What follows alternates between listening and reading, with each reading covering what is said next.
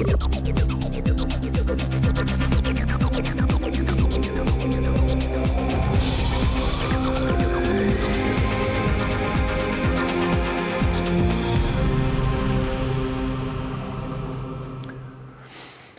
tal? Son las diez y media, las nueve y media en Canarias. Muy buenas noches, bienvenidos a El Cascabel en 13. Enseguida vamos a saludar a nuestro invitado de esta noche, el presidente del Partido Popular, Pablo Casado, con el que vamos a abordar un mes y medio después de ser elegido presidente de los populares, asuntos, asuntos diversos. Hombre, hablaremos de la inquistada cuestión catalana, claro está, de la situación económica, después de estos primeros 100 días de gobierno de Pedro Sánchez, del abandono de la política de la exvicepresidenta Soraya Sáenz de Santa María y, cómo no, de ese asunto de los másteres tras la dimisión de la ministra de Sanidad anoche y la presión del PSOE que está pidiéndole a Pablo Casado que haga lo propio también, que dimita.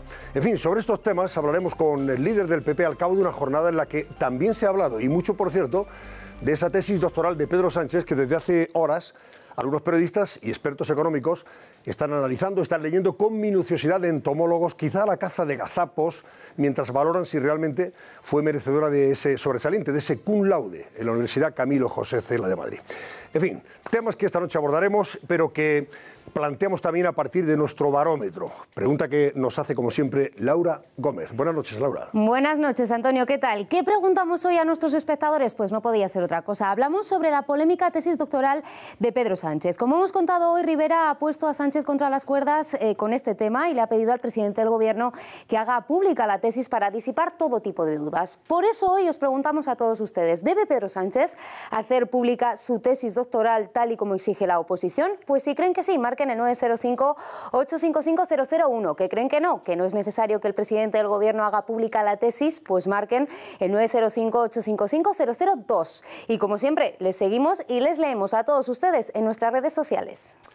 Muy bien, Laura, gracias. Vean también un avance de algunos de los temas que esta noche vamos a comentar en el Cascabel. Se tambalea la bolsa española en los primeros 100 días del nuevo gobierno. 11.000 millones de euros se han fugado del IBEX 35. Mientras tanto, ya se notan los primeros síntomas de agotamiento en nuestra economía. ¿Estamos al borde de una nueva crisis? ¿Cómo afectará nuestro bolsillo? Carlos Cuesta nos lo cuenta esta noche en el Cascabel. Hay dudas razonables sobre la publicación de su tesis doctoral. Rivera cuestiona la tesis doctoral de Pedro Sánchez. Es de los pocos pocas personas que hacen una tesis doctoral y la ocultan. Lo que le tengo que decir es que la tesis está publicada conforme a la legislación. ¿Hay dudas razonables sobre su existencia, como dice el líder de Ciudadanos? Hay dudas razonables. ¿Se puede consultar libremente? Está colgada en TSE. Usted está, por supuesto que lo está. Infórmense ustedes bien porque lo está. ¿Habría algún motivo para mantenerla oculta? Yo le pido que para disipar cualquier duda haga usted pública su tesis. Todas las claves las analizamos esta noche en el Cascabel.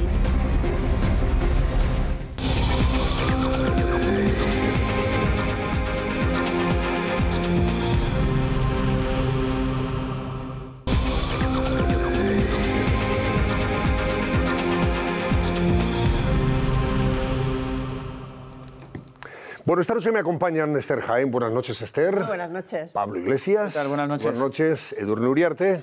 Buenas noches. Buenas noches y Antonio San José. Buenas noches. ¿Qué tal? Buenas noches. Y nuestro invitado, que es el líder del Partido Popular, un mes y medio después de ser elegido presidente de- del PP. Hoy en el plató del Cascabel, Pablo Casado. Buenas noches, don Pablo. ¿Qué tal, Antonio? Buenas noches. Bueno, vamos a ver, eh, ¿cómo está viviendo usted estas últimas horas con todo lo que ha pasado en relación con los másteres otra vez, el caso de la, de la ministra? ¿Siente usted presión del PSOE que está pidiendo su dimisión también por su, por su máster? En lo que a mí respecta, absoluta tranquilidad, pero por otra parte también un poco de pena de que con la que está cayendo en España, con la diada de ayer, con el presidente de la Generalitat diciendo que va a atacar el Estado, con el crecimiento económico ralentizado, con 360.000 despidos el 31 de agosto, que estemos hablando de que si un párrafo de una ministra, o que si mi curso del doctorado hace 10 años, o que si la tesis eh, de Sánchez es pública o no es pública, a mí sinceramente creo que, que lo que sirve es para despistar la realidad de España que, por desgracia, desde que ha habido esta moción de censura de los socialistas, con Podemos, con los independentistas y con los batasunos, sinceramente en 100 días esto no va bien. En lo que a mí respecta digo que tranquilidad absoluta porque no tiene nada que ver con los otros casos. Yo creo que hay que poner de relieve cuando alguien tiene que asumir responsabilidades es si ha cometido alguna irregularidad. Y la irregularidad de este caso también, que sucedió en otros, es cuando hay una falsedad documental. Hay dudas de si la libertad de cátedra de un profesor se tiene que judicializar. Es decir, de si alguien recibe una nota que es incorrecta, lo cual no ha sido mi caso, eso tiene que acabar en un juzgado y mucho más en el Tribunal Supremo. Pero de lo que no hay duda es de que si hay una falsedad documental, sea en una intranet o sea exhibiendo un acta, ahí es cuando puede haber una irregularidad. En mi caso eh, no coincide nada. En primer lugar, porque yo no tengo un máster finalista, yo tengo un curso del doctorado. Y como no inscribí la tesis, por tanto no tengo nada. Es decir, yo no, tiene tampoco trabajo fin de, de máster. Tengo trabajo para calificar cuatro asignaturas, pero en mi año.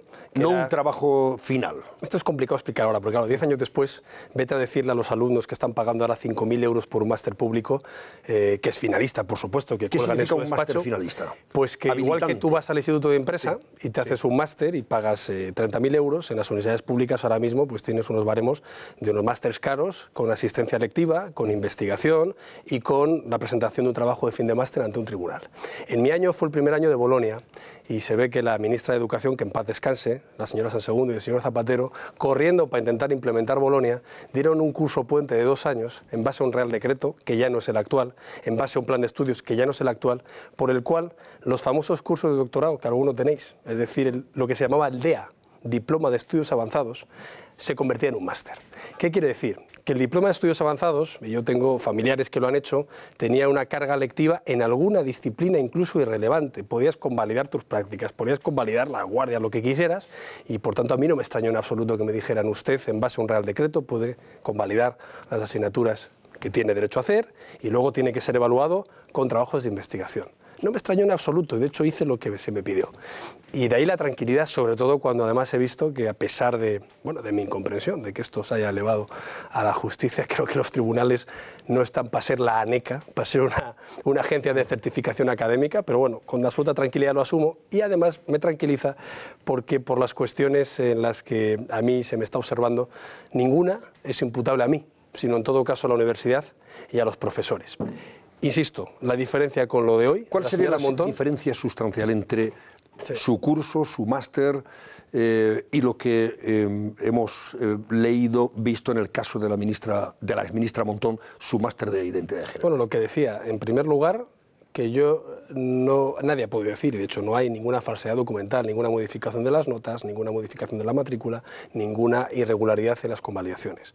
En segundo lugar, que lo mío es un curso del doctorado y no es un máster finalista. En tercer lugar, yo no conocía a nadie de ese instituto público. La señora Montón ya ha dicho que se mandó unos correos electrónicos para ver si se matriculaba y además estamos sabiendo hoy que ese centro recibió 400.000 euros de las exministras Pajín y Aido. En mi caso yo fui a la universidad, oye, ¿quiero hacer un curso de doctorado? No, ahora se llevan másters. ¿Qué másters hay? Pues este catálogo. Pues yo elegí el que más se parecía a mi formación. Y luego hay una cosa que creo que es, que es muy importante y es que yo he dicho exactamente toda la verdad. Y por eso...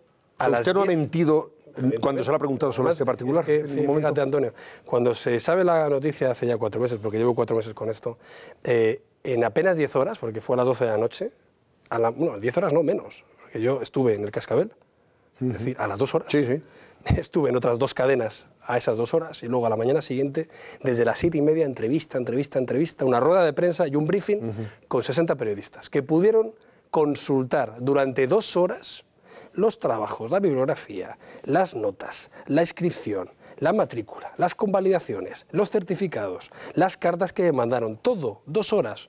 ¿Quién puede en apenas dos horas reaccionar diciendo todo lo que tiene y en apenas 10 horas poner toda la documentación encima de la mesa. Yo recuerdo incluso, alguno ahora he visto publicado, ¿no? no dejó consultar los trabajos. Bueno, anda, que no dejé. Hasta se publicó que en un trabajo en la bibliografía aparecía, por ejemplo, un actual magistrado constitucional. Y dice, no, es que usted ha puesto un magistrado constitucional. Hombre, es que es un constitucionalista que tiene muchos libros.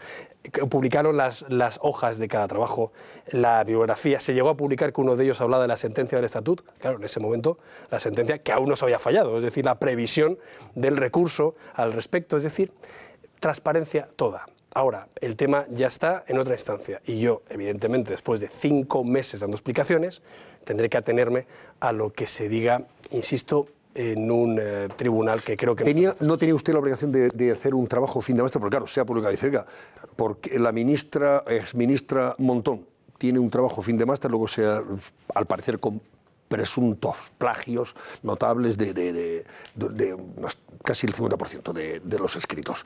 Y se ha conocido ese, ese trabajo fin de máster, las condiciones en que estaba escrito y hecho. ¿Usted no tenía que presentar ese trabajo? ¿Usted lo tiene? Sí, claro que sí. Es el que han estado viendo, pero no es un trabajo de fin de máster. ¿Qué diferencia esta regulación, entre lo que usted tiene y lo que...? No meternos en technicalities, sí. hay dos reales decretos que regulan estos másters. Uno del 2005, que es el mío, que es la adaptación durante solo dos cursos, hasta el 2007, en el que ya se regulan los actuales, que luego en el 2011, por cierto, se volvió a modificar. En el 2005 no se pedía un TFM, lo que había es un itinerario formativo de especialización dentro de esos estudios que exigía un trabajo que había que hacer para ser evaluado. Eh, por tanto, eso ni se presentaba ante tribunal, ni se inscribía, ni siquiera hay la obligación de guardarlo ni por parte del alumno ni por parte de la universidad. ¿Qué diferencia hay eso ya no solo con el tema de, la señora Montón o con los temas de las tesis doctorales o con los temas de una plaza universitaria como le ha pasado al señor Arrejón o con los temas de una oposición? La diferencia es lo primero que al contribuyente lo que tiene que importar es si un político ha recibido de forma irregular algo habilitante, que le permite ¿Qué ser significa doctor. habilitante? Hombre, pues que te permite ser doctor y con ya. el doctorado puedes acceder a una cátedra o con la cátedra puedes acceder O sea, que al final a tú plaza. puedes encontrar un puesto de trabajo gracias Yo entiendo que un político que a tiene un una oposición o una beca, como pasó con. Errejón, por la que tienes que pagar, yo puedo entender, o, o alguien que, que- que concurre a una plaza de administrativo, yo puedo entender que haya un reproche penal. En este caso, por cierto, yo creo que sería contencioso administrativo, porque aquí no estamos ante la judicialización de los actos académicos, sino incluso a llevarlos al orden jurisdiccional penal, lo cual ya es para hacérselo mirar. ¿eh? Pero insisto, en mi caso es algo irrelevante. Es como si ahora nos ponemos a ver eh, los exámenes que alguien tiene en segundo de BUP o los exámenes que alguien tiene en tercero de carrera, que también lo han intentado, pero por supuesto ya lo archivo en la universidad, porque creo que conmigo lo que están intentando es buscarme cualquier tipo de problema que yo haya podido tener en mi gestión, en mi vida privada, y como no encuentran nada, pues han ido a parar a un currículum que lo que tengo es lo que tengo, no he inventado nada. Acordaos cuando empezaron con que si no, Casado tiene un, un curso de especialización en Harvard, que ha hecho en el IES, en Aravaca. Oiga, habrá que saber que gran parte de los cursos de especialización de las universidades americanas se imparten no solo en el IES, en la Sorbona y en Dubái y en el Reino Unido. O sea, es de un desconocimiento absoluto. A mí, que yo he estado, por cierto, trabajando en Estados Unidos mucho tiempo, ¿no? Lo mismo con las carreras. No, es que aprobó un curso, una cosa u otra. O sea, es decir, es penoso. Digo penoso ya no para mí, que evidentemente cuando gasto tiempo durante cinco meses en explicar lo obvio, no hablo de otras cosas como digo que es lo importante y para lo que me pagan que es velar por la unidad de España, por el rendimiento económico y por acabar con este gobierno de populistas e independentistas que llevan 100 días destrozando España. Pero es penoso sobre todo porque al final los españoles no diferencian y al final ya no saben si es una beca, si es un máster, si es una plaza eh, irregular, si has robado, si has matado. O sea, llega un momento en el que yo creo que tenemos que hacer una reflexión y es, oye, vamos a exigir a los políticos lo que se puede exigir y sobre todo vamos a intentar diferenciar cuando un caso es distinto. En eso coincido con Montón. No todos somos iguales. Yo evidentemente no me considero que mi caso sea igual que el de, la señora Montón. Ahora bien, después de cinco meses explicándome, yo dije el otro día en un viaje que, bueno, el día que surgió la exposición razonada se elevó al Supremo, mm, yo tenía un viaje a Bogotá, a Colombia, y además tenía ya citadas eh, cuatro audiencias con cuatro jefes de Estado. ¿no? El, de, el de Colombia, el de Argentina, el de Chile y el de Honduras. Y yo, en vez de ocultarme en ese viaje, que era público, eh, surgió la información, yo retrasé el viaje, retrasé el billete, retrasé cuatro audiencias con cuatro presidentes de gobierno y volví a comparecer ante todos los medios de comunicación a dar explicaciones diciendo es la última vez que entro a valorar ya el fondo de la cuestión. Y a partir de ahora, como alguien ha querido elevarlo a una instancia judicial, yo ya me reservaré a lo que se solicite. ¿Por qué? Porque me doy cuenta que al final esto alguien lo quiere estirar. Porque a lo mejor no tienen otras cosas con las que meterse ni conmigo ni con el Partido Popular. Y ahí no nos van a pillar. Yo ni tengo nada que ocultar. He sido transparente, hecho todo correctamente y yo espero que muy pronto se demuestre. En ese sentido, eh, eh, ¿cree que la juez que estuvo investigando y que elevó al Supremo para que fuera admitida a trámite, evidentemente, esa, esa investigación, eh, acusándole de cohecho impropio y acusándole de prevaricación, etcétera, etcétera, ¿debería antes haber hablado con usted, tomarle declaración para confirmar o desmentir los indicios que esta señora juez apreciaba? Yo creo que en algo he acertado, es en todo este proceso, que evidentemente está muy tranquilo, pero agradable tampoco es, no he hecho ninguna calificación ni sobre la universidad ni sobre la justicia, precisamente por la tranquilidad que tengo. Por tanto, yo lo que decía la jueza me parece, me parece correcto. Me lo que le puedo decir simplemente, por concretar un poco, a mí no se me acusa de prevaricación, se le acusa a un profesor. Y tampoco se me acusa de cohecho impropio, porque hubiera prescrito. Y aparte, porque para que vaya Bueno, ella- es- impropio... es- en, el- en su, en lo que ella remite al, al Supremo, habla de, de cohecho Habla de propio porque usted recibe de Habla- habla- según no. ella. Habla de cooper- máster habla de cooperación- eh, para la pre- para- cooperación para necesaria para una prevaricación de un Para una profesor. prevaricación, sí. Lo cual ya habría que estudiar cuando un profesor prevarica por poner una nota o no, ¿no? Porque entonces, en ese caso, lo que hacemos es, bueno, pues empezar a revisar todos los estudios de todo el mundo y si a alguien pues, le han evaluado un punto más que otro, pues vamos al tribunal, ¿no? Porque total, como no están colapsados, vamos a hacer que los tribunales hagan de segunda instancia de corrección de exámenes. Pero insisto, eh, insistiendo en que la prevaricación habría que ponerla en su justa medida, la cooperación necesaria es imposible, porque los tres actos que más o menos se cifran como necesarios en esa cooperación, que es la matriculación, la solicitud de convalidaciones y el exhibir ese título en la web del Congreso, por definición no puede ser cooperación necesaria. El exhibir el título en el Congreso, porque no puede ser una cooperación necesaria un hecho posterior al supuesto hecho irregular. Para cooperar hay que hacerlo antes de que eso suceda. El tema de las convalidaciones, porque en la propia exposición razonada se dice que en efecto eran legales en base al Real Decreto que acabo de explicar. Y en el tema de la matriculación, porque en la propia exposición razonada, al tomar declaración a las tres alumnas, lo que dicen las alumnas es que una vez matriculadas fueron al despacho del profesor de Marras y dijeron que tenían que hacer, y es cuando les dijeron a ellas que a mí no, no haga usted nada. Con lo cual sería posterior el hecho supuestamente irregular a la matriculación. Por tanto, no puede ser tampoco una cooperación necesaria. Por eso estoy tranquilo, Antonio. Ya, pero por eso Porque le yo lo pregunto, que quiero- ¿por qué no le llama a declarar esta juez yo ya- antes de elevar al Supremo esto? Dice, voy a confirmar indicios o voy a desmentirlos y a lo mejor, a lo mejor acaba esta, Yo esta lo, historia yo hubiera lo acabado bueno es que yo confío mucho en la justicia y a lo mejor, pues, eh, pues, al final es la forma de que ya nadie pueda tener ninguna sombra de sospecha, porque ya más, más, sinceramente, no puedo hacer. Pero insisto, es una pena que con la que está cayendo que nuestros espectadores, que están preocupados por las antorchas tenebrosas del Pursés, que están preocupados por las agresiones y las pintadas a la Policía Nacional en Barcelona, que están preocupados porque el crecimiento económico haya caído este tercer trimestre, que están preocupados por lo que está pasando en País Vasco con el acercamiento de presos etarras este verano, con la frontera en Ceuta y Melilla, y que estemos aquí hablando de una cosa que sinceramente no ocuparía ni cinco minutos en una charla de café. Bueno, pues yo, eh, por mi parte, dejo de preguntarle ya sobre el asunto, con independencia de que después Esther, eh, Pablo, Antonio o Edurne quieran volver sobre el 45 particular. entrevistas del tema, o sea que ya Por no eso. os preocupéis que yo encantado. Y vamos a pasar a otros temas. Por ejemplo, eh, su entrevista, su encuentro con Soraya Sánchez de Santa María. ¿Le sorprendió que le anunciara su abandono de la política?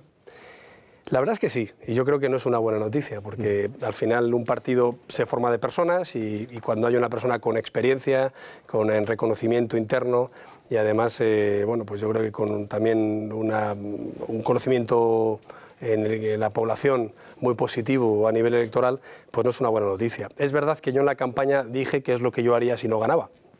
Y recuerdo además que, se entendió de forma desigual. Algunos pensaban que era como dar un portazo. No, yo creo que cuando, cuando se, contrastan, proyectos, pues, eh, pues bueno, es, lícito decir, oye, yo voy a, a- buscar eh, otra ocupación, aunque en este caso eh, yo tengo una muy buena relación con ella. ¿No le hizo ningún reproche? Si se puede saber. Eh, ¿Ella a mí? Eh, sí. No, no, no. En ningún caso, ¿no? Estuvo impecable y además muy en la línea del comunicado, diciendo que ella va a seguir estando en el Partido Popular, que ha dedicado casi dos décadas, porque ella ha estado en el gobierno, ha estado en la oposición, estuvo en el grupo parlamentario, estuvo de asesora en los ministerios en los que estuvo Rajoy y, y la verdad es que no, yo, yo he de decir que, y parece un tópico que se dice por parte de los políticos después de un proceso interno, eh, de verdad que estamos unidos y, y yo creo que, que, que se ha demostrado lo que yo decía, que si yo ganaba nadie perdía Y no porque yo sea mejor que nadie, sino porque yo necesitaba a todo el mundo y porque aquí cabe todo el mundo para seguir remando en una dirección. Al final la moción de censura, que ha sido muy traumática, también sirve para, para unirnos y para intentar volver al gobierno cuanto antes. Entonces yo lo que he visto y llevo un verano, como habéis podido ver, pues eh, recorriéndome casi todas las autonomías, es que el partido se ha reilusionado en un proceso interno y que ahora lo que estamos haciendo es volver a abrirnos a la sociedad para recuperar esos tres millones de votos que perdimos y sobre todo para volver al gobierno porque ahora mismo está en manos de los peores. Ha remontado las encuestas, las últimas encuestas hablan incluso de empate ahora mismo con el Partido, partido Socialista. ¿Está usted en, digamos, en, esa posición de que lo que está viendo en, esa, las encuestas le satisface? ¿Cree que esa remontada es la que esperaba o, o se ha quedado corta? Yo en las encuestas siempre decimos los mismos tópicos, ¿no? que la foto fija, la última encuesta la de la urna. Bueno, no voy a caer en, en, las generalidades. ¿no? Lo que es cierto es que, es que, bueno, yo creo que estamos incluso mejor que esas encuestas. Es más, eh, si hacemos una proyección de los resultados electorales del 15, que tuvimos en las municipales y autonómicas, que no fueron buenos ya en el 15, por el cambio de tendencias de otros partidos, ahora mismo podríamos haber mantenido prácticamente la totalidad de gobiernos autonómicos y municipales que los que no ganaron las elecciones juntándose nos arrebataron. Por ejemplo, Baleares, Castilla-La Mancha, Aragón, Cantabria o Comunidad Valenciana, cinco autonomías en las que ganamos ampliamente, se juntaron Podemos y el PSOE y arrebataron el gobierno. Por ejemplo, Madrid, Zaragoza, Valencia, Palma de Mallorca, Valladolid, Cádiz, ganó el Partido Popular, se unieron los que perdieron las elecciones. Ahora mismo, con la entrada de nuevos partidos, eso que le vino tan bien al Partido Socialista con Podemos, ahora incluso manteniendo ese resultado, que insisto, Antonio, creo que lo superaríamos, tendríamos prácticamente en muchos de ellos ese gobierno. Por tanto, creo que estamos creciendo, creo además que la gente se ha dado cuenta que el multipartidismo no ha traído estabilidad, no ha traído buenos resultados y creo además que ahora que empiezan a verse ya esa desaceleración mundial, ese tema de la, pues ya no hay viento de cola, el precio del petróleo, eh, las posibles subidas de tipos de interés, los, los españoles dicen, oye, no juguemos con fuego. Puede que esté demasiado reciente la experiencia de Zapatero, esa crisis brutal, esos 3.000 despidos diarios, para que la gente diga, aquí hay que volver a las políticas responsables del Partido Popular. Voy a recordar a nuestros espectadores, señor Casado, que la entrevista la habíamos acordado la semana pasada para que viniera hoy miércoles y casualmente pues, ha, ha coincidido con estos avatares eh, de los másteres en, cuestión. Eh, pero habíamos hablado de que fuera el miércoles porque Pablo Casado se estrenaba hoy en el Congreso de los Diputados como líder de la oposición en una sesión de control al gobierno. Y era la primera vez que preguntaba eh, e interpelaba al presidente del gobierno, a Pedro Sánchez, y debatía con él sobre dos asuntos. Uno ha sido Cataluña, el otro ha sido sobre la economía, y nos da la posibilidad de que hablemos de ambos, ambos temas. Vamos a ver cómo, cómo ha discurrido ese debate con Pedro Sánchez en el tema de, Cataluña, la cuestión catalana. Vean. Y en la diada, después de esa quelarre independentista una vez más, solo escuchamos por parte del Gobierno que le gustaría que los presos no estuvieran en la cárcel. Es más, que Cataluña es una nación. Acuse al Gobierno de lo que no hace. Eh, porque si entramos en el territorio de los cambios, eh, yo le he visto a usted gritar no hay papeles para todos y al día siguiente estrechar las manos de los subsaharianos en el puerto de Algeciras.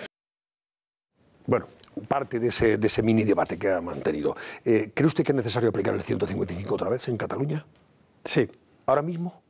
Bueno, nosotros hemos dicho, eso le, corresponde al Gobierno la iniciativa, por desgracia, ¿no? Pero encontraría el apoyo del Partido Popular en el Senado, pues Yo le he llegado a decir a Pedro Sánchez que la mayoría absoluta del Partido Popular en el Senado le basta para aprobar el artículo 155 y que asumimos todo el coste. Eso sí, marcando nosotros la extensión y marcando nosotros la amplitud competencial. Me explico. La intervención. Nos han criticado mucho con el 155 en la pasada vez que se aplicó y alguno nos acuerda que si no se aplicó antes es porque el PSOE Ciudadanos decía que era matar moscas a cañonazos, cierro comillas, y que luego cuando se aplicó, Ciudadanos exigió que fuera instrumental solo para convocar elecciones y el PSOE exigió que no se aplicara en TV3 y en la educación. Lo digo para recordarlo, porque es que ahora resulta que nos dicen que es que nosotros aplicamos el 155 tarde, poco y de forma escasa. Que se lo digan a Ciudadanos y que se lo digan al Partido Socialista. Ahora creo que ya empieza a haber indicios como las amenazas de Torra, como la situación en los colegios, como la situación de inseguridad, como el mandato a los Mossos ilegal de sus mandos, como lo que está pasando en los ultrajes del rey o como lo que empezamos a ver ya a pie de calle, en una confrontación que empieza a ser entre los ciudadanos. Y eso yo creo que hay que evitarlo, y hay que evitarlo sobre todo no diciendo vamos a apaciguar los ánimos, como hoy decía el señor Sánchez, o como ha dicho el señor Borrell, diciendo que Cataluña es una nación y que le gustaría que los presos que dieron un golpe al Estado estuvieran fuera de la cárcel. Oiga, pero ¿quién es un ministro para decirle a un juez qué tiene que hacer con la prisión preventiva? ¿O quién es una ministra para decir que a un magistrado del Supremo demandado por Puigdemont el Estado no le puede defender en Bélgica? Creo sinceramente que se les ve el plumero al gobierno y que se ve que los votos de los independentistas del PDCAT y de Esquerra Republicana en la moción de censura se está devolviendo a base de no generar ningún tipo de rechazo a los independentistas, es decir, a base de dejar a Cataluña vendida. Permítame, señor Casado, que vayamos a la publicidad y seguido, seguimos enseguida con la entrevista. Pero tenemos que hacer esta pausa ya. Sí. Son las, 10 menos, las 11 menos 4, las 10 menos 4 en Canarias, claro. Volvemos enseguida con Pablo Casado.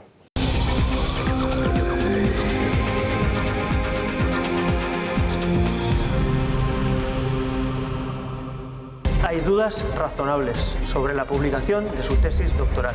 Rivera cuestiona la tesis doctoral de Pedro Sánchez. Es de los pocos pocas personas que hace una tesis doctoral y la oculta. Lo que le tengo que decir es que la tesis está publicada conforme a la legislación. Hay dudas razonables sobre su existencia, como dice el líder de Ciudadanos. Hay dudas razonables. Se puede consultar libremente. Está colgada. Usted está, por supuesto que lo está. Infórmense ustedes bien porque lo está.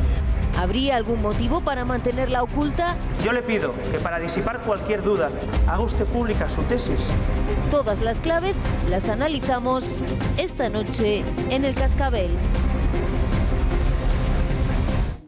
Bueno, eh, luego hablaremos de eso de la tesis doctoral. ¿Le consta a usted que haya habido una amenaza de Pedro Sánchez a Ciudadanos diciendo vais a enterar?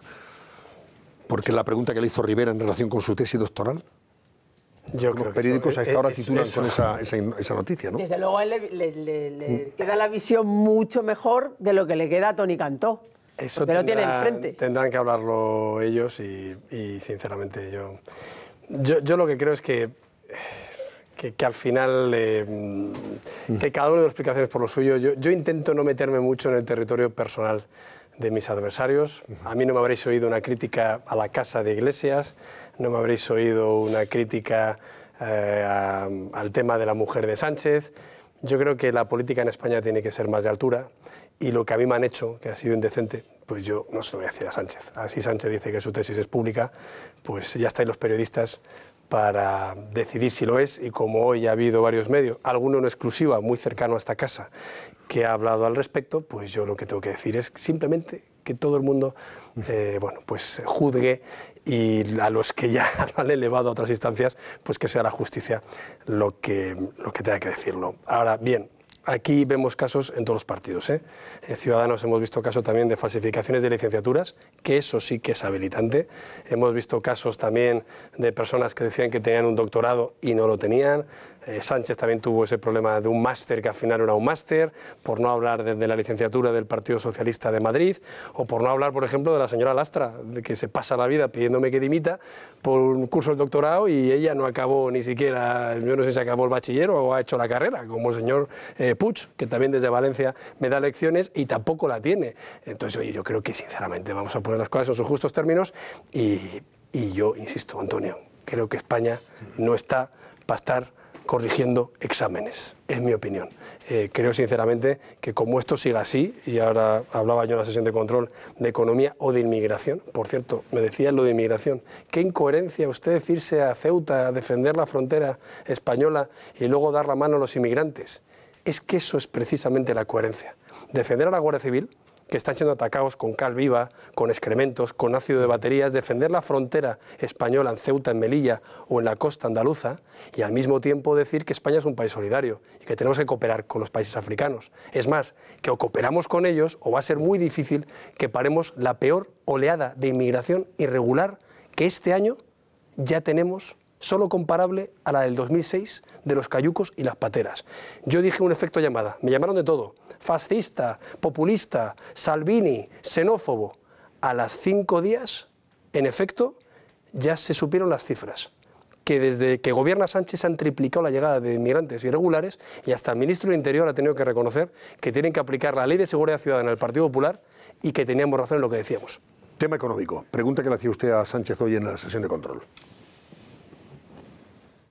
Usted llegó al gobierno sin ganar las elecciones, es más, con el peor resultado histórico del Partido Socialista y el apoyo de los de Podemos, de los independentistas y hasta de los batasunos. En 100 días hemos visto a cuánto extendía la hipoteca y sobre todo el poco plazo que le han dado para pagarla. Hemos visto que además anuncia la subida de todos los impuestos, me imagino que porque se lo ordena Podemos. Que siete años de gobierno del Partido Popular no se arreglan en 100 días. Y teniendo en cuenta que ahora mismo en España no gobierna un partido que ha sido sentenciado por la financiación irregular, pues tengo que decir que la, que la economía va bien y que la política mejore. Bueno, eh, le pregunto, ¿la economía va bien 100 días después de que Sánchez llegara a la Moncloa, después de los anuncios de subida de impuestos, el tema del diésel, el tema de la- del gasto público, incrementarlo, incrementar el déficit? ¿Es esto lo que conviene en estas circunstancias? ¿Qué alternativas le ofrece usted a él? Vamos por partes. El único partido en España condenado por financiación irregular es el Partido Socialista. El único. Y teniendo a dos expresidentes del PSOE y de la Junta en el banquillo, yo creo que este tipo de afirmaciones, desde luego a mí, que toda la vida he estado defendiendo la lucha contra la corrupción, no me las va a dar ni el señor Sánchez ni nadie. Y dicho eso, claro, no se pueden negar las cifras, ¿no? Esto lo decía Julián Marías, ¿no? Los españoles somos los únicos que negamos las cifras, los datos. Pues es que resulta que en agosto, además de despedirse 360.000 personas el 31 de ese mes, vemos cómo el crecimiento económico ya está en un 0,6 en este tercer trimestre, es decir, vamos a acabar el año en un 2,7 como mucho, por primera vez en tres años creciendo menos del 3%. Vemos cómo anuncian la subida de todos los impuestos, pero decir todos no es exagerar. Han anunciado destopar las cotizaciones sociales. O fijaos qué broma para quien quiere contratar. Han anunciado subir el impuesto de la renta, según ellos a los muy ricos, muy ricos. Cobran más de 60.000 euros, hay bastante gente en España que lo hace. Han dicho que van a crear un impuesto al diésel, que se lo digan a los agricultores, a los transportistas y a los fabricantes de coches. 4.000 trabajadores en riesgo porque en España se fabrica mucho motor y mucho coche diésel. Por cierto, el 80% de ellos para exportar, equilibrando la balanza de pagos. Y luego también han dicho que van a subir los impuestos al ahorro, cuando en España hace falta ahorro con la deuda que tenemos. Han dicho que sucesiones, que patrimonio, que donaciones y ya lo último es impuesto a las tecnológicas. En un momento en el que el Brexit hay startups y empresas tecnológicas, no las grandes que al final se las buscan para no pagar impuestos, Google y compañía no, las tecnológicas que crean valor añadido y que están mirando un país con pasaporte europeo para venir y el gobierno dice que va a subir el impuesto a las tecnológicas. Por tanto, es pura demagogia y sobre todo porque es innecesario. Porque este año España va a recaudar 22.000 millones de euros más que el año pasado. Y porque los presupuestos que aprobó el Partido Popular contienen ya 4.000 millones de euros más para las comunidades autónomas.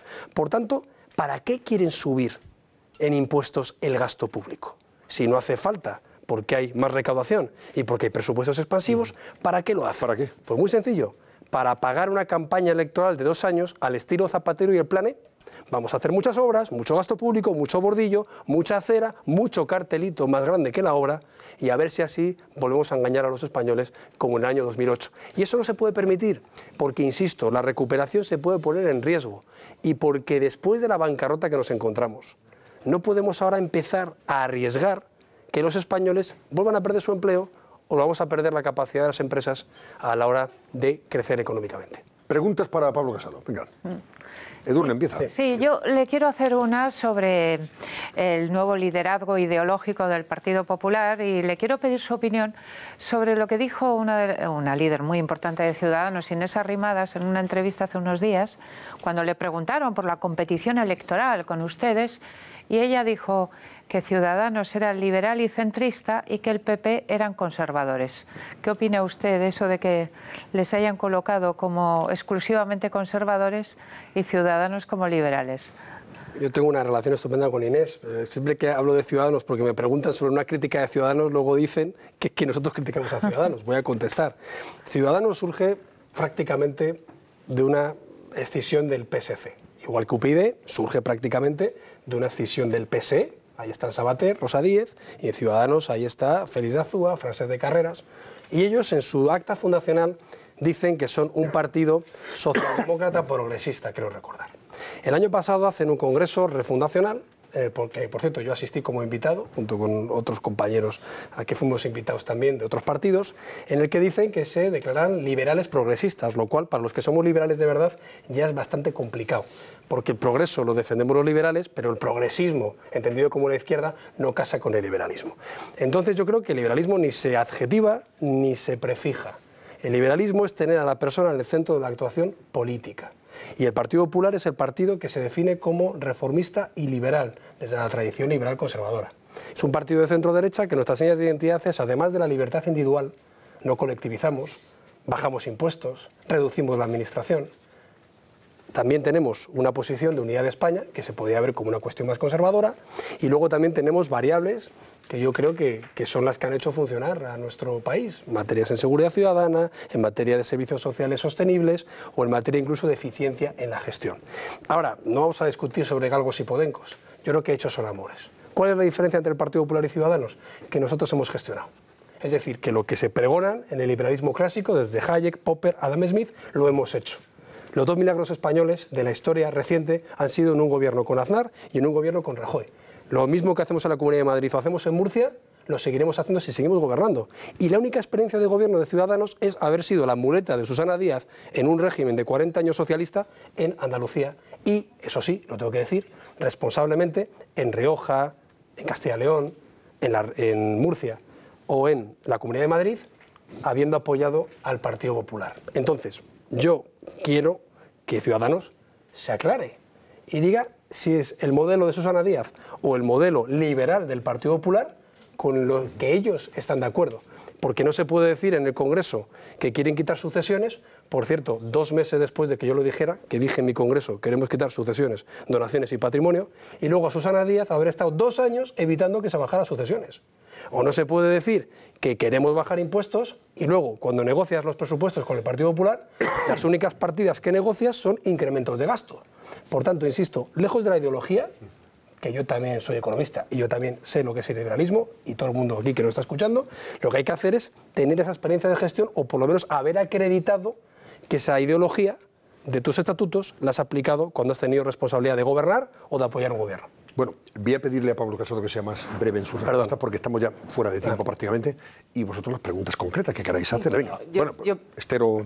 Yo, por ejemplo, eh, le quiero preguntar, ya siento, por el asunto del máster. Hoy se han hecho públicas unas grabaciones en los interrogatorios. Yo no sé si le ha llamado la atención que la juez, en todos los, los trozos que han, que han sacado de interrogatorios, en, todos, en cada uno de ellos le preguntaba específicamente por Pablo Casado. ¿Y usted vio asistir a- Al curso? Casado. ¿Vio alguna vez a Pablo Casado? No sé, es que, que- que tiene que decir eso y, y si le ha llamado la atención la- las respuestas también de los alumnos. ¿no? Decían, no, yo luego lo vi por la tele y dije, ah, este es Pablo Casado, el famoso Pablo Casado.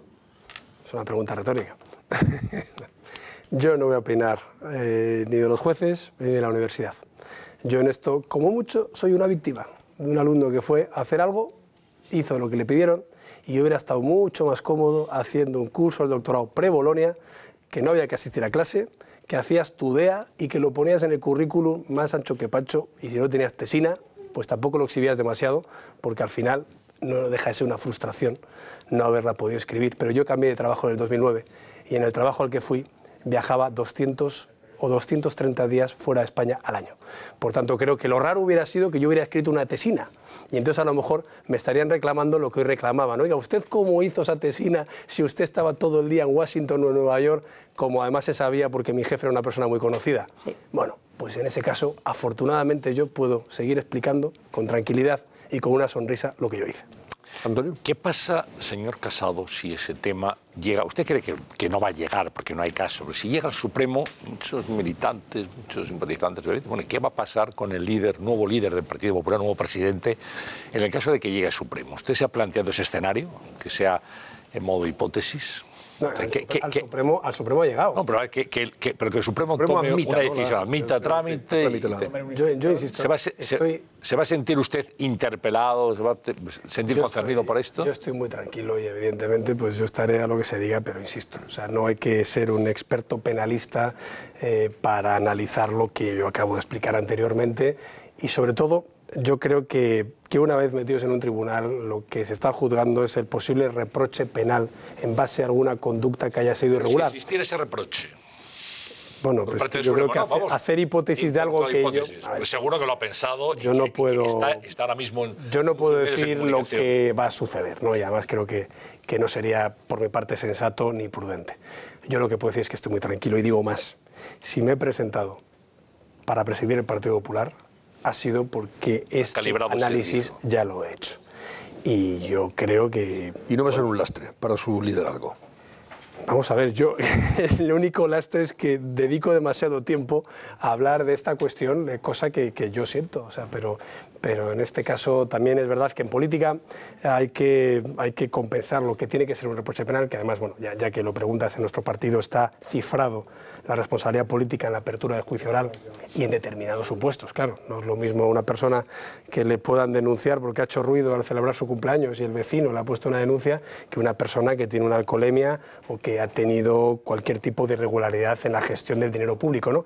Pero incluso con esa diferenciación de las conductas irregulares que hacen nuestros propios estatutos, es la apertura de juicio oral lo que nosotros establecemos. En este caso, es que no me pongo ni en esa situación porque creo que, en fin, eh, las conductas que se están, eh, en este caso, debatiendo, pues yo creo que a los ojos de cualquier persona mm, son bastante claras de que no ha habido ninguna irregularidad. Pablo, venga, la penúltima. Que, hablamos de este asunto, pero yo tengo dos preguntas más sobre la trituradora de títulos, másteres, eh, licenciaturas y, tesis doctorales en la que se está convirtiendo la, la, política española en los últimos meses. Pero antes me gustaría que me permitiera hacerle una matización a una cosa que afirmaba al principio de la entrevista. Los 60 periodistas que estuvimos en el famoso briefing del mes de abril, que pudimos hablar con usted precisamente y hacerle un gran interrogatorio cierto de dos horas, no tuvimos los trabajos encima de la mesa para comprobarlos durante dos horas. Le hicimos un interrogatorio durante dos horas. Es cierto que nos contestó a todas las preguntas. Creo que bastantes quedaron claras. Desde entonces, de hecho, no se ha vuelto a publicar nuevas acusaciones contra el máster que cursó en la Universidad Rey Juan Carlos, pero no tuvimos dos horas los trabajos encima de la mesa y precisamente lo que el Partido Socialista le ha pedido hoy es que ponga los trabajos encima de la mesa para que le puedan hacer la misma comparación que la sexta le ha hecho, por ejemplo, a Carmen Montón. Mis dos preguntas son concretas. Una sobre el presidente del Gobierno, Pedro Sánchez. Ha dicho que a usted le da igual la tesis doctoral de Pedro Sánchez. Entiendo entonces que usted está en desacuerdo con su rival político, Albert Rivera, que esta mañana le ha exigido a Pedro Sánchez que enseñe y haga pública la tesis doctoral. ¿Es necesario o no es necesario, por la credibilidad del presidente del Gobierno, hacer pública esa tesis? Bueno, yo entiendo que la tesis doctoral es pública por lo que ha dicho Pedro Sánchez y por lo que estoy viendo en los diarios digitales, de que ya hay colas en la Camilo José Cela para revisarla. Espera. ¿no? Entonces, pero, no eh, tenemos el documento, no es completo público, hay que verlo en secreto, en privado. vamos a ver, eh, Pablo, eh, estamos en un Estado de Derecho, en el que se tiene que demostrar la culpabilidad y no la inocencia. Y yo, con todos mis respetos a los periodistas, que sabéis que lo tengo, es que pasado mañana a mí se me dice que yo tengo que presentar el trabajo por el que saqué el graduado escolar y sinceramente pues tendré que calibrar hasta qué punto yo tengo que eh, asumir eso porque a un medio de comunicación le dé mucha audiencia eh, destripar la bibliografía de mis trabajos, que insisto, si no estuvieran perfectamente hechos y perfectamente documentados y referenciados, no los habría enseñado. Yo no sé si fueron dos horas, a mí me parecieron dos horas, desde luego, el tiempo que yo estuve hablando, los trabajos estaban rulando. Es decir, a lo mejor bueno, eh, estaban encima de la mesa la del ordenador. Bueno, bien, yo lo que quiero decir, pues no, no, lo sabía, pero desde luego yo he estado con varios periodistas que me han preguntado, más es que recuerdas las cosas. De otros medios de comunicación sí que han tenido Oye, no, esto y lo otro, y además creo que algunos que no bajaron a la rueda de prensa sí se quedaron en la sala. Entonces yo ya no lo recuerdo exactamente porque había muchos periodistas, vino hasta, me acuerdo, hasta la radio galega, ¿no? O sea, oye, vino algún periodista internacional, o sea, entonces oye, yo no sé exactamente cuánto tiempo fue. Lo que sí que sé es que se pudieron tomar apuntes, se pudieron decir cuando no había ninguna acusación sobre mí. Porque, insisto, ahora mismo hay una acusación contra el profesor. entonces, bueno, pues ese profesor que además ha decidido no declarar, con el que yo no tenía ninguna relación, pues tendrá que verlo. Y claro, yo lo que tengo que defenderme es de que yo no soy cooperador necesario ni de ningún delito de ese profesor. Antes me decías, Antonio, lo del tema del, el tema del cohecho. El tema del cohecho es un tipo penal, por cierto, absolutamente prescrito en este caso y con una pena nimia de multa, eh, que precisamente lo que dice es que tiene que haber una función determinada en la relación con esas personas o una petición para hacer esa dádiva es decir, un posible beneficio por haberla hecho. Y en la propia exposición razonada también se dice que ni yo tenía ninguna función de vinculación con el instituto, cosa que hemos visto que Montón sí que la tenía, o que hay otras personas a las que han tomado declaración que sí que eran familiares o amigas, o así lo decía la propia exposición, y en segundo lugar, yo no tenía ninguna función relevante. Porque dice, no, es que usted era eh, diputado autonómico de la Asamblea de Madrid. ¿Me podéis decir el número 4 de la lista a la Asamblea de Madrid del Partido Popular? Yo no lo sé. Yo era el 40 de 67. El 40 de 67. O sea, a mí no me conocía políticamente, vamos, los que me vieran con Antonio alguna vez que me invitaba a un programa. Dice, no, es que era presidente de Nuevas Generaciones de Madrid. ¿Me podéis decir algún nombre de la presidenta actual de Nuevas Generaciones de Madrid? Ese sí que me lo sé. Yo. Entonces, claro, que haya prevalencia en el cargo público de un diputado número 40 de una asamblea legislativa frente a un director de una, de una cátedra, ¿pero qué prevalencia hay? ¿Qué puede hacer un, diputado autonómico para esa cátedra o para ese director? O como decía algún periodista el otro día, es que era divino y ya sabía que ese alumno a los 10 años iba a tener una posición, eso sí, creo, ahora más relevante.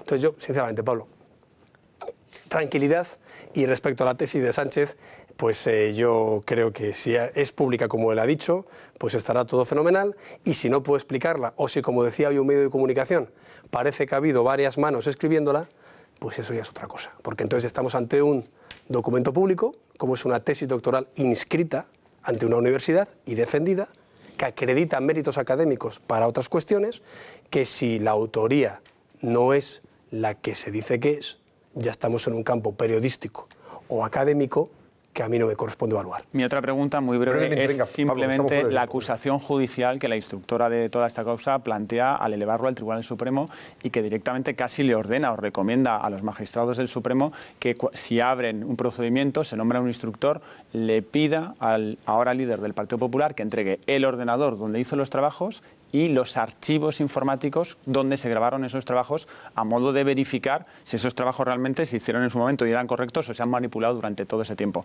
Es casi una acusación lo que se hace en ese planteamiento. Pero claro, la pregunta obligada en este caso es, ¿tiene localizado ya el ordenador y tiene guardados esos archivos? Pues... De lo que yo digo, que la exposición razonada al final pues, eh, eh, parece, parece otra cosa. Si estoy tranquilo, Pablo, es porque estoy tranquilo.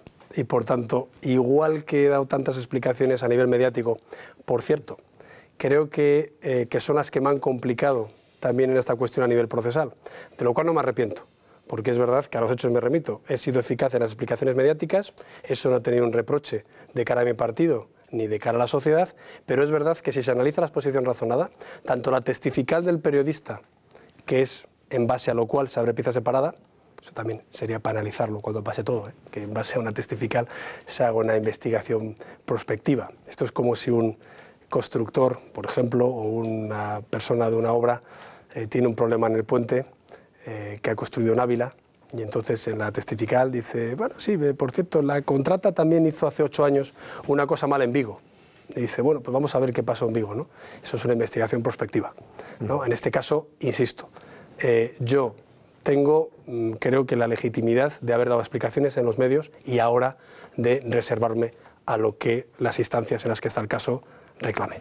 Ahora ya casi eh, sí. no, eh, en fin, eh, o lo contrario. ¿Cuándo va a designar usted a los candidatos a las elecciones municipales y autonómicas? Los tiene usted en un año. Sí, en un año, efectivamente. O sí o no, eso es muy complicado. No, nosotros hemos fijado la Convención Nacional para el día 1 y 2 de diciembre. ¿Y ahí se sabrán entonces los nombres? No, antes de esa fecha. De reforzamiento ideológico, de salir a, ganar las elecciones y por tanto no tiene que haber un debate de nombres. ¿Apuesta usted por la continuidad, por ejemplo, en Madrid de los actuales eh, y presidente de, del PP, o sea, en este caso estamos hablando de, Garrido en la comunidad y de Martínez Almeida en el ayuntamiento. Están haciendo una labor ¿Va a haber cambios o no? Estupenda, pero insisto, si me meto a opinar sobre Madrid, me tengo que poner a opinar sobre Valencia, me tengo que poner a opinar sobre todos los sitios, ¿no? Pero yo creo que lo bueno del partido es que tenemos a muy buena gente, a, personas eh, que están haciendo una labor estupenda, sea en la oposición o sea en el gobierno, y por tanto yo creo que saldremos con un equipo ganador me filtran si intento convencer a Soraya de Santa María para que siguiera. ¿La intento convencer o no? fue una conversación cordial y amistosa y seguro que vamos a seguir en contacto. O si la tentó para que fuera candidato Fuera al ayuntamiento candidata, o a la. Se le preguntaba lo de por Madrid, por Era ejemplo, muy claro. goloso, no se entiende que renunciara a algo así. Bueno, Pablo Casado, muchísimas gracias. Muchas y eh, hasta una próxima ocasión. Gracias, gracias a noches. Despedimos al líder del Partido Popular. Hemos hablado del asunto de la tesina, perdón, tesina, tesis doctoral del señor eh, Sánchez, doctor en economía. Y todo esto ha venido a cuento porque hoy, efectivamente, el líder de Ciudadanos le ha, le ha pedido a Sánchez que haga pública esa tesis doctoral de la que se ha hablado en muchas otras ocasiones y parece como si no existiera. Esto ha sido en el Congreso de los Diputados, en esa sesión de control, y se ha producido en estos términos que van a escuchar y ver. Hay dudas razonables sobre la publicación de su tesis doctoral. Yo le pido que para disipar cualquier duda haga usted pública su tesis. Acabemos con la sospecha, acabemos con la duda razonable, porque si estamos en el caso Cifuentes, el caso Montón, el caso Casado, no puede haber un caso presidente del Gobierno. Lo que le tengo que decir es que la tesis está publicada conforme a la legislación. Está colgada en Teseo. Lo que pasa es que usted, como en todas otras muchas cosas, no se, no se prepara las preguntas. Pero en todo caso da igual. Bueno, pues eh, Susana eh, Ollero, cuéntanos cómo ha discurrido el día, cómo ha transcurrido el día en función de, de este nuevo ingrediente periodístico y, y político que es la tesis doctoral del señor Sánchez, presidente del Gobierno. Pues sí, Antonio, vamos a conocer cuáles son las causas de esta polémica y vamos a conocer también la tesis doctoral de Pedro Sánchez, que se ha convertido en la noticia del día, como tú decías. Bueno, pues la Perdóname, Susana. Perdóname, me, me dicen que hay problemas con tu micrófono, así que vamos a arreglar ese micrófono y mientras tanto, como tenemos que hacer otra pausa, justo en este preciso instante, hacemos esa pausa publicitaria y volvemos para que nos cuentes la, la información y, por supuesto, podamos opinar al respecto. Porque claro, se ha hablado a lo largo de todo el día. ¿eh? Y No quiero también saber vuestra opinión sobre el particular. Hasta ahora mismo, no se, no se vayan, por favor.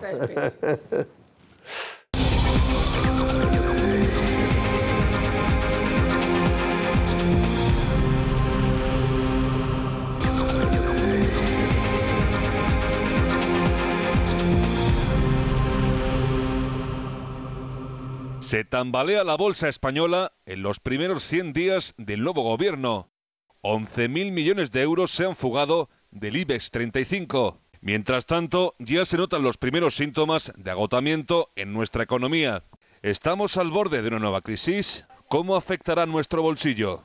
Carlos Cuesta nos lo cuenta esta noche en el Cascabel. Enseguida estaremos con Carlos Cuesta. Para antes vamos con la tesis doctoral de, de Pedro Sánchez, es motivo, por cierto, de portada de todos los periódicos de difusión nacional de, de mañana. Portadas que ya tengo aquí y enseguida les voy, a, leer. Pero antes, Susana Ollero, cuéntanos esas noticias. Pues sí, vamos a descubrir cuáles son esas causas por las que se ha convertido en la noticia del día. Porque la polémica ha saltado los medios. ¿Por qué? ¿Cuál es la razón? Porque el exministro de Industria, Miguel Sebastián, habría dicho que la escribió en su mayor parte el Departamento de Industria. O sea que él no fue Pedro Sánchez el único autor. Sin embargo, ahora Sebastián lo desmiente. La realidad es que esta tesis ha estado bajo llave más de dos años a la Universidad Camilo José Cela, donde la presentó Sánchez. No se podía tener acceso a lo largo de esos dos años y además en el portal de tesis doctorales Teseo solo aparece un pequeño resumen, pero no la tesis entera. ¿Por qué tanto hermetismo? Nos hemos preguntado. ¿Hay alguna irregularidad? Bueno, pues les ponemos un antecedente a ver si buscamos y encontramos algunas pistas. Solo invirtió en hacerla dos años y nueve meses, cuando la media para este tipo de estudios de posgrado está en seis años. Pedro Sánchez leyó su tesis de Diplomacia Económica a finales del año 2012 y obtuvo como calificación un apto cum laude, que es la máxima distinción. Ahora bien, según el periodista Javier Negre del Mundo, que ha tenido acceso a esa polémica tesis, estos son los datos a destacar. La tesis tiene por título Innovaciones de la diplomacia económica española, análisis del sector público 2000-2012 y está compuesta por 10 capítulos. ¿Y cuáles son las principales conclusiones de esta tesis que ha podido observar? Bueno, pues escuchen, hemos destacado dos para que vean el nivel de esas conclusiones del texto. El Gobierno ha dirigido buena parte de su acción económica exterior a la promoción de las exportaciones y la captación de las inversiones, dice Pedro Sánchez en esa tesis. Hay una segunda conclusión. Las regiones españolas también han dirigido su acción económica hacia la diplomacia comercial a través, entre otros, de la realización de viajes internacionales por parte de los presidentes autonómicos y las oficinas de promoción económica del exterior. Bueno, pues varios expertos aseguran que la tesis es floja y que no merece el cum laude que obtuvo el tribunal. ¿Pero qué dice realmente la Universidad Camilo José Cela? Bueno, pues ha publicado un comunicado, este que están viendo, y en él asegura, en primer lugar, que no está obligado a publicar las tesis doctorales completas digitalizadas, por eso no aparece en Teseo, y en segundo lugar, que la tesis pertenece a su autor, no pudiendo la Universidad Camilo José Cela facilitarla en formato digital sin su autorización. Así que, Antonio, la universidad por el momento se lava las manos. Digo que este es un asunto, gracias Susana, que es un asunto de, de portada en los periódicos. A veces, por ejemplo, titulan, fíjese, con esta, esta, estas, estos datos, Pedro Sánchez plagió su tesis doctoral copió otros autores, fusiló informes del gobierno de Zapatero y volcó en la tesis artículos suyos ya publicados.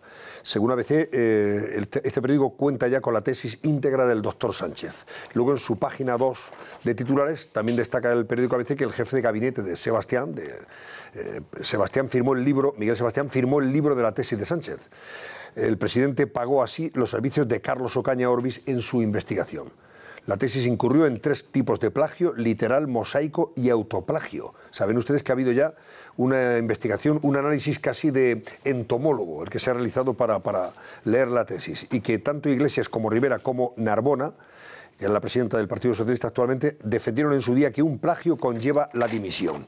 El país también lleva portada este asunto y dice que Sánchez declara la guerra a Rivera por dudar de su tesis. Las acusaciones de irregularidades en los estudios se convierten en arma arrojadiza de todos contra todos en una tensa sesión de control. O El Mundo, que dice que el secretismo de Sánchez aviva la duda sobre la autoría de su tesis. Y Rivera le reprocha que tras la dimisión de Montón oculte el trabajo pese a las sospechas de que él no lo escribió el presidente estalla contra el líder de Ciudadanos y dice que su pregunta es un lodazal. Y la razón va más lejos. Dice que el PSOE está urgiendo ya que convoquen elecciones el presidente del gobierno ante la erosión de, que está sufriendo, ante la erosión de Sánchez. Preocupación porque el gobierno no haya rentabilizado la dimisión de Montón y estén envueltos en el caso del doctorado de Sánchez. Creen que el efecto Moncloa se está dilapidando. Bueno, vamos a ver, una rápida opinión sobre esto eh, antes de, saludar a, Ángel Espósito que acaba de apagar su linterna y tengo que saludarlo ya mismo. Bueno, pues, pues, muy rápidamente. Yo eh, creo que una tesis doctoral es siempre la aportación de cualquier eh, intelectual a un campo del conocimiento en el que está especializado, que nadie pueda consultarla, porque la investigación se hace a golpe de tesis doctorales. y, una...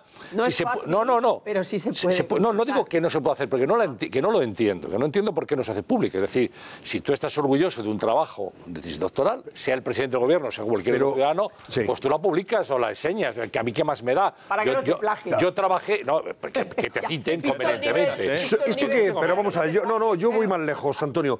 A, por, a partir de lo que publica ABC en su edición de mañana, y también corrobora en parte el mundo. Eh, no sé si algún otro periódico. Vamos a ver. OK Diario también, tenemos a Carlos Cuesta y también esta, esta tarde daba una información exclusiva en, ese, sentido sobre el, negro entre comillas. ¿Político tiene consecuencias o no? Desde el punto de vista legal tiene consecuencias o no? Yo, creo que, puede, que habida, cuenta de cómo se ha elevado el listón y dónde está el nivel en este momento, tiene consecuencias, clarísimamente. Por tanto, yo creo que es inexcusable que el presidente del gobierno salga y dé explicaciones ante ese cúmulo de informaciones. Tenemos que escuchar las explicaciones del, interesado, que cuando las escuchemos podemos conocer sus razones. Ahora mismo eso inquieta y mueve la duda, está claro. Porque esta tesis sí es habilitante, esta tesis doctoral sí, claro, es doctoral. Es previa para poder luego ejercer como profesor en la universidad. Obviamente. O eres doctor o no. Pero, claro, aquí a mí me llama la atención la portada de ABC que dice que hay plagio. No, no, es, eh, muy contundente. Si hay plagio, obviamente sería de una gravedad definitiva. Eh, si hace el titular, entiendo, yo no tengo esa prueba, pero entiendo que tienen la prueba. El plagio es fácil de demostrar. Si es que existe, es fácil de demostrar. Simplemente tienes que mostrar que esos párrafos que están en esa tesis no tienen cita y están calcados de otros sitios sin cita. Si eso es así, sería de una gravedad tremenda. De las cosas que se dijeron de Francisco Cans ¿eh? y de su tesis. Si esto, día, fu- ¿eh? esto fuera así, Casi se le, le quieren echar de, de Valencia, ¿no? pero tendremos Porque- que ver, porque ahí tienes la portada, ¿no, Antonio? Nos falta Sí, sí, sí. el contenido de, si- de portada, qué ¿eh? es lo que tienen. Bueno, Porque según lo que ellos tienen es bueno, copió a otros autores, fusiló informes del gobierno de Zapatero, volcó en la tesis si artículos están suyos ya fusilados publicados sin citar, y luego habla de que el jefe del gabinete de Sebastián es el firma el libro de la tesis de Sánchez Pero claro, esto es lo que. Pero eh, esta es la segunda parte que creo que nos explicará Carlos, ¿no? Que está ahí esperando, nos explicará. Yo lo he leído en OK Diario. Esto yo lo veo ya, mm, es otra cuestión. Porque, aunque nos lo va a explicar mejor Carlos Cuesta de OK Diario, lo que está contando OK Diario es que hay un libro publicado después de la tesis con Carlos Ocaña. Pero es un libro después de la tesis. Bueno, si el libro es Esto posterior a la es tesis. posterior. Posterior, sí, sí, Esto ya Y firmado es un por los tema, dos. sí, Eh, más, Carlos complicado. Cuesta, está, usted, está usted por ahí. Buenas noches, Carlos. ¿Qué tal? Eh, Vamos a ver, eh, eh, te suena, claro, todo esto que hemos comentado de Sí. las portadas de los periódicos, especialmente de ABC, te suena mucho porque tú lo firmabas en OK Diario esta tarde también, ¿no? Lo hemos, hemos dado la exclusiva. Efectivamente, hemos abierto esa tesis tan secreta, tan oculta, tan oculta. Cuidado, esto, eh, la lectura es en noviembre de 2012, lleva oculta hasta la actualidad, es decir, desde el 12 hasta 2018, que es la gran pregunta, ¿por qué ella estaba oculta? Bueno, pues ya hemos visto, nosotros hemos publicado, de hecho, en OK Diario, las páginas y se puede ver perfectamente cómo hay páginas, fragmentos, cuadros, gráficos, reseñas, todo íntegramente igual, exactamente igual que el famoso libro al que estabais haciendo alusión. ¿Cuál es la historia? Ellos dicen, lo hemos publicado después el libro, ¿no pasa nada? Sí, claro que pasa. El libro tiene dos autores. Por lo tanto, si el libro tiene dos autores y es igual a la tesis, significa que si el libro es de dos, la tesis es de dos. Y no puede haber un título, no puede haber por nada del mundo un título de doctor presentado por dos personas, porque entonces llegaríamos al absurdo de que el señor presidente del gobierno, Pedro Sánchez, sería medio doctor y el otro señor, Carlos Ocaña, sería medio doctor. Es decir, que podrían dar clases como doctor los dos juntos y por separado no podrían. Entonces, evidentemente es el mismo libro. Y luego las informaciones que están saliendo, lo que va a salir mañana en ABC, que nosotros ya lo, lo apuntábamos, cuidado, es que esta persona es una persona, Carlos Ocaña, que estaba en aquel momento dependiente de un ministro. Era nada más y nada menos que el director de gabinete de Miguel Sebastián. Por lo tanto, ¿de dónde ha salido esa información?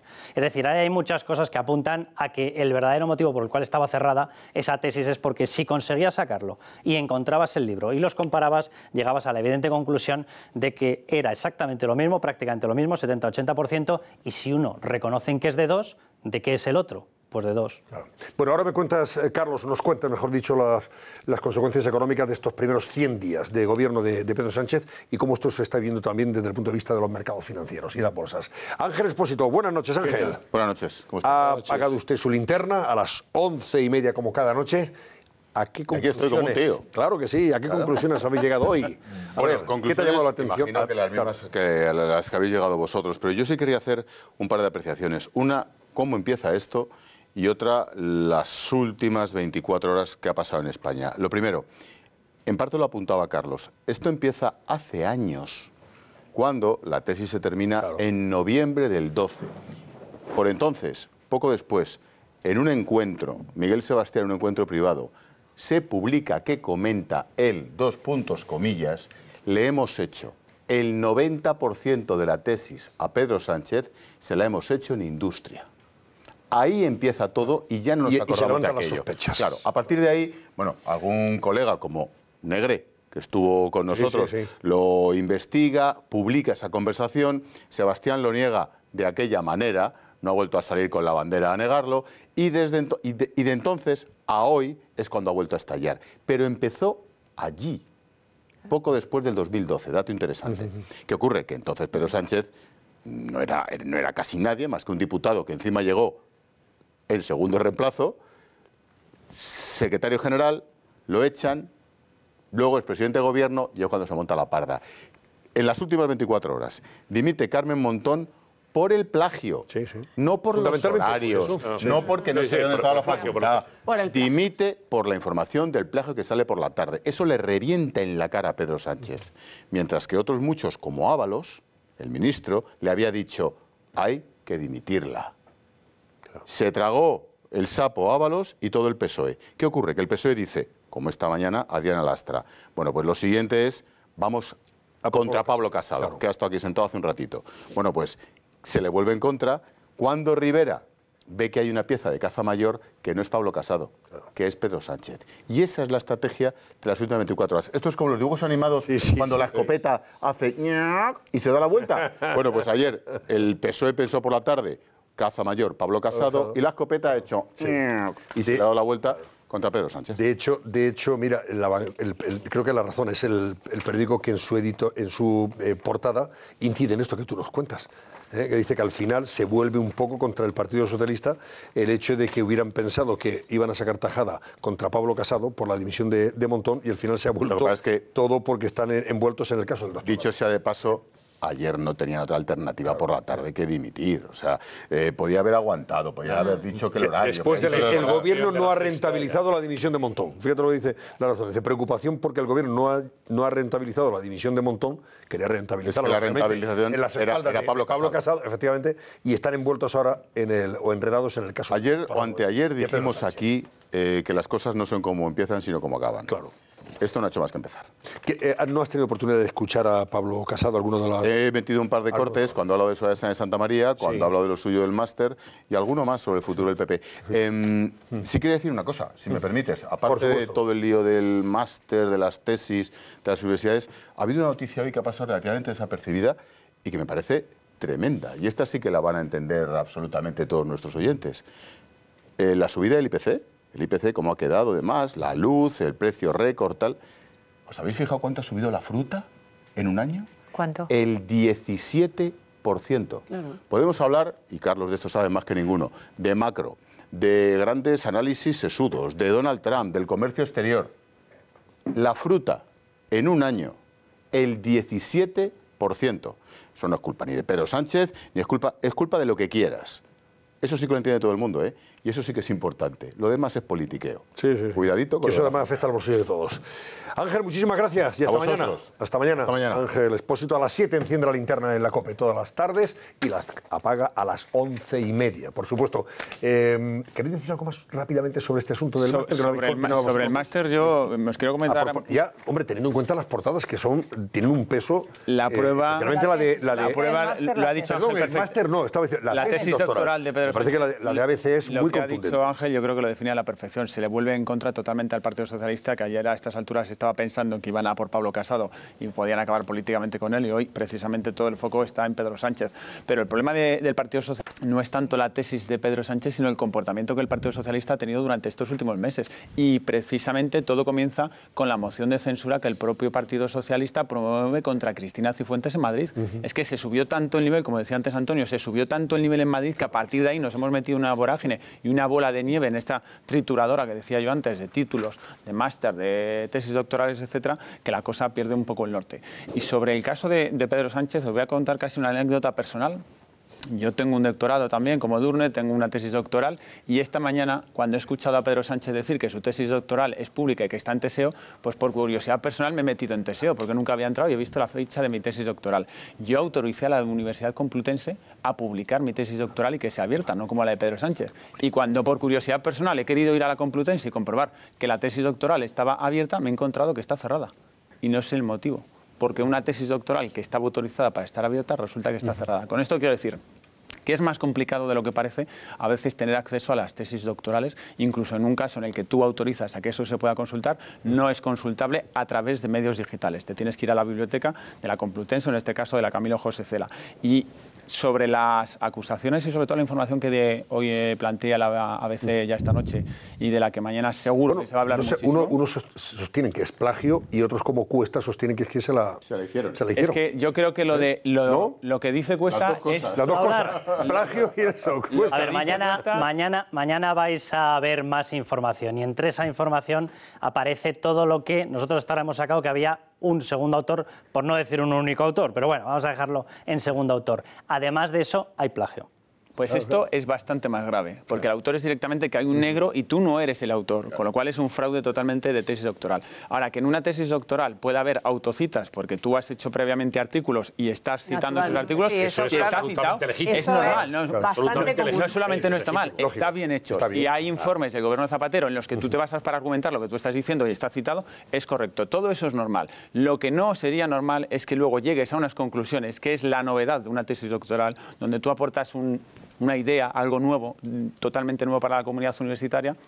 Lo que no es normal bajo ningún concepto es que esas conclusiones estén sacadas de un informe del gobierno, estén copiadas de otro sitio o no sean propias. Pero, no letal- pero en casi un proceso todo científico. sería opinable, yo, ah, desde mi punto de vista, letal políticamente para el presidente, solo sería el plagio. Si el plagio está, está probado, es- eh, de eso no, no puede salir. Oye, dejamos aquí ahora el asunto porque vamos ya contra reloj y quiero que Carlos Cuesta nos cuente, eh, pues también contra reloj, porque el tiempo obliga, el estado de la economía 100 días después de que Sánchez llegara a la, a la Moncloa. Venga, Carlos, vamos con ello. Vamos a hacerle un repaso. Vamos a darle un repaso. Ya estabais comentando algunos de los datos económicos. Lo que vamos a ver es el resumen del último momento, la fotografía instantánea del último minuto de lo que ha pasado. Ahora, vamos a repasar también algunos datos adicionales que voy a ir dando de qué es lo que ha pasado, por ejemplo, con la fuga de capitales a través del IBEX 35. ¿Qué es lo que ha pasado con los principales captadores de inversiones que parece que se han convertido en los captadores, los principales expulsadores de inversiones? Solamente en menos de 100 días, con Sánchez 11.187 millones de salida. Cuidado con este tipo de cifras, porque son elevadísimos. Es decir, este tipo de cifras no se deberían producir y podríamos decir, bueno, ¿esto está pasando en todas las bolsas internacionales? No, no es verdad. Si miramos las bolsas americanas, no solamente algunos de los indicadores no tienen caída, sino que tienen subida e incluso dentro de las plazas europeas, las que tienen caída, la mayoría tienen una caída muy inferior a esta, es decir, tenemos algún tipo de factor autóctono. Algo está pasando y ese algo sabemos todos cómo se llama y se llama inseguridad jurídica. IBEX 35, lo que comentábamos, peor índice europeo acumulado en 2018. Atención a este dato porque esto sí que empieza a marcar una posición de riesgo para España. Esto no es macro pura, es verdad, el IBEX 35 es muy nervioso, se mueve por otro tipo de factores, pero cuidado, cuando empieza a convertirse en tendencia, esto está indicando algo. Y ese algo además coincide con la cifra de evolución de lo que nos ha pasado con el último dato de seguridad social y coincide con el último dato intertrimestral del PIB español. Y eso es demasiada coincidencia. Más datos, datos hasta el 10 de septiembre. España, IBEX 35, caída del 7,7. Milán, Futsi, por ejemplo, por poner un caso, 6,43. Son las dos de mayor caída, pero atención a cuál es la de mayor caída, la nuestra. Vamos con más datos de lo que está ocurriendo, porque también se ven los precios, lo estabais comentando, el precio de la fruta. También se ven otros indicadores, indicadores ya más potentes como el paro. Desaceleración, bueno, mayor en España que en Europa. Recordamos, y lo dijimos en, tu programa, ese dato hemos caído en un año de tener un PIB, crecimiento trimestral del 0,9 a caer al 0,6. Una caída a ese ritmo es excesiva para lo que tiene que sentir una economía en estos momentos. ¿Qué es lo que le está pasando? Gobierno inestable, se está descontando esto. Estamos todo el día hablando de si hay elecciones anticipadas, si no hay elecciones anticipadas. Eso le espanta la inversión y le espanta a las empresas. Credibilidad. A ver, tener credibilidad cuando sales por la mañana simultáneamente como presidente del gobierno y dices que vas a poner un impuesto al diésel sí, y en ese mismo instante aparece en otro medio de comunicación tu ministra del ramo diciendo eso es un globo sonda, pues ganar credibilidad es complicado. Y este tipo de cosas se siguen muy de cerca por parte de las empresas. ¿Qué más nos ha ocurrido? La elevación del objetivo de déficit pactado con Bruselas. El gobierno lo está celebrando como fuese un gran logro. Cuando tú le dices a un inversor extranjero que vas a elevar el déficit, es como si yo le digo a mi vecino, oye, que sepas que te voy a pedir prestado mil euros, pero que sepas que el año que viene voy a tener todavía menos dinero para devolvértelo. Hombre, pues con palmas y con mucha alegría no lo suele tomar. Es decir, esto no ayuda para nada. Se está hablando de que lo elevaríamos hasta el 2,7 en 2018 y hasta el 1,8 en 2019. ¿Qué significa? Ralentizar nuestra capacidad de autofinanciación. ¿Qué significa? Vamos a ir viendo el siguiente gráfico que necesitamos más recurso a la emisión de deuda. ¿Y cuándo lo vamos a hacer? Atención, cuando el BCE va a dejar de comprar bonos de los países. Hombre, ¿esto qué significa? Que nuestro endeudamiento nos va a costar más. Si nos va a costar más, ¿quién lo va a pagar, Antonio? Los impuestos. Es decir, todos los que están viendo este programa. ¿Eso ayuda a la economía? Pues no. Resta poder adquisitivo, resta consumo, resta ahorro. Es decir, es malo para la economía y de esto las empresas, repito, saben mucho. Atención a la cifra de turismo. El turismo es uno de nuestros grandísimos sectores. Pues atención a la caída con respecto a 2017, el ritmo que llevamos, caída del 4,9%. ¿Es un factor externo el tema de la recuperación del turismo en el Mediterráneo Sur? Sí, pero es que la economía, las empresas, los inversores dicen, si es que a mí los partidos políticos me dan lo mismo, yo lo que quiero ver es el resultado. ¿Cuál es el resultado? Menos 4,9%. Caída de ventas del comercio minorista. Cuidado porque aquí ya empezamos a hablar directamente de que la gente está teniendo esa percepción en el bolsillo. La gente de a pie, la gente normal. Caída del 0,4% en julio. Un mes en el cual debería estar todo el mundo, oye, con lo que ha ahorrado, gastándoselo en salir, en hoteles, en no sé qué, en puertos deportivos. Bueno, pues ese momento, 0,4%. 4% de caída. Pérdida de poder adquisitivo, 2,3. Esta es la madre del cordero. Si empiezas a notar esto, se empezará a notar en compra de bienes más duraderos, se empezará a notar en consumo, por ejemplo, en hidrocarburos, en compra de coches, etcétera. Inflación, cuidado con este dato. Hemos estado viviendo durante muchos años con inflaciones muy pequeñitas o incluso negativas. Y en estos momentos el mordisco a todos nuestros sueldos es de un 2,2%. Repito, estamos con crecimientos ya cercanos al 2,7, cercanos al 2,8, al 2,9 y de ellos hay que quitarle un 2,2, 2,2 puntos directamente de pérdida por adquisitivo por la inflación. La luz, atención, 75,39 está en subida, subida del 10,9% de los carburantes, es decir, todo está subiendo, nos está quedando poder adquisitivo y eso se está notando. Bueno, 2019, lo que comentábamos, ¿cuándo estamos llegando nosotros a esta situación? ¿A qué nos estamos enfrentando? Este dato es importantísimo. Enero de 2019 se acabó la política expansiva del BCE. Esto que técnicamente se llama los quantitative easing, todo el mundo dice, ¿qué es eso? Bueno, pues significa que el Banco Central Europeo te compra bonos. Tú no los puedes colocar o te costaría mucho colocarlos a precio de mercado, la deuda pública, y va un organismo que se llama el BCE y te los compra. ¿Qué es lo que va a ocurrir? Que se acabó que deja de comprarlo y como deja de comprarlo vas a precio de mercado. Y cuando emites deuda, y hay que recordar que España la emisión bruta supera los 220.000 millones de euros al año, la tienes que emitir a precio de mercado y te cuesta más. Y en estos momentos los españolitos nos gastamos 32.000 millones de euros única y exclusivamente en los intereses, sin amortizar ni un euro. Por lo tanto, subida de tipos de interés, subida de costes, subida de deuda. Antonio. Bueno, Carlos, pues eh, esto es lo que hay. Y ahora a la vuelta de la publicidad, que no es poco, a la vuelta de la publicidad vamos a, a recordar dos titulares más que ponen el gobierno a veces una vez cuando rectifica acierta y otras se equivoca aún más. Dos rectificaciones del gobierno que llevan a sus portadas ABC y, y, El Mundo. Tienen que ver con las pensiones y con el asunto de las bombas que se venden a Arabia Saudí. No se lo pierdan hasta ahora mismo.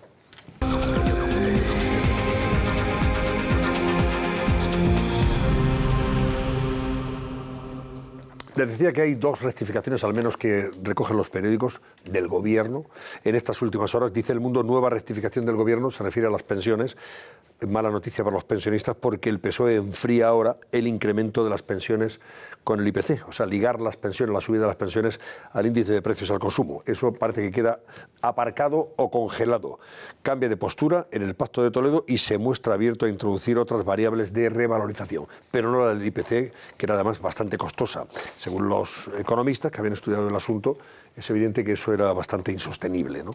Y luego dice ABC también sobre otra rectificación, en este caso lo titula así, nueva rectificación del gobierno, España sí venderá 400 bombas a Arabia Saudí. Eso significa que se queda, eh, se abre, se abre la, o se da luz verde a las corbetas y al contrato con Arabia Saudí. Vamos a ver si esto tranquiliza. La ministra fue ayer o anteayer a decir que eso estaba parado. Bueno, pues ahora el gobierno le ha obligado, según decía la le ha obligado el gobierno a la ministra de Defensa a rectificar y que se vendan esas bombas. Esta defensa de, precisión. De precisión a Arabia Saudí. Y dice también la razón que tanto el gobierno como la Federación Española de Fútbol se oponen a que el derby independentista se juegue en Estados Unidos, tal y como pretendía la Liga, ¿eh? no al derby indepe en Estados Unidos. Noticia, Susana Ollero, cuéntanos.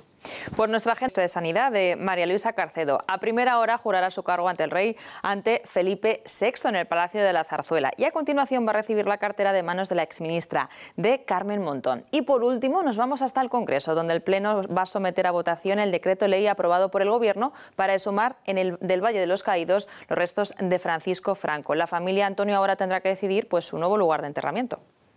Bueno, pues eso va a ser la noticia. Hoy jueves. ¿eh? Como elija la seguimos, seguimos con el asunto. Bueno, mañana, se La saca- familia no mañana sale a pasar otra vez Puede. la momia de Franco para ver si desviamos la atención sobre los másteres, sobre los, los- las tesis doctorales y todo lo que aparezca por ahí, ¿no? Y los problemas reales y, y prioritarios.